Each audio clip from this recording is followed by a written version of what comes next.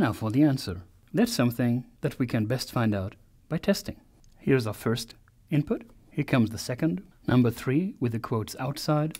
And number four with the quotes inside of the tags. For the first input, the output should be just the text foo. For the second one, should be the same but enclosed in double quotes, as is the same for the third one. For the fourth one, we'd simply expect the text foo. Let's go and test this.